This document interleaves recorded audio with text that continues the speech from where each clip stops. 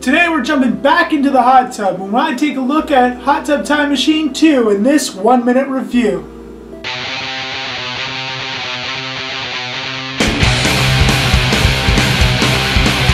So let's start the clock and I'll give you a one minute review of Hot Tub Time Machine 2. Here we go.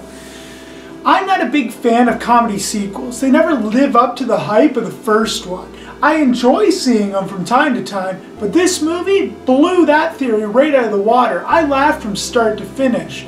Not the whole cast returns in this movie, but the new members and the old members make it worth watching. Rob Corddry really carries the show, and it's based along him, and that man is funny. One thing I did enjoy about Hot Tub Time Machine 2 and now Hot Tub Time Machine 1 is that it follows the same kind of storyline of Back to the Future. We start in the past, future, and then probably in the very past. One thing I did enjoy, Marty McFly goes 30 years into the future, they go only 10 years, and it looks similar. I am not looking forward to a third one because I really don't think that it will live up to this one. This one is amazing for a comedy sequel. Well, as you can hear, we are out of time. So I hope you enjoyed this. Sorry I didn't get through the whole review, but it's only a minute. If you liked it, give it a thumbs up. If not, there's other videos over there.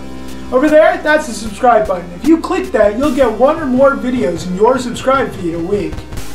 If you want to check out my full written review, check the descriptions below. There's a link there. Check it out. If you enjoyed that, why don't you tell me in the comments below.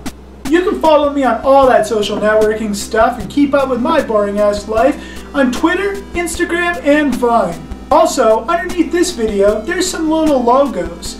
One of them is for other one minute reviews, one for a beverage review I do, one for a show I've been starting called Trailer Talk, where me and two buddies talk about some upcoming trailers, and one of my favorites to do, Lazy Day Let's Play. It's not a real Let's Play show, it's a me trying to be funny comedy show based around video games with my cat. Yes, you heard me right.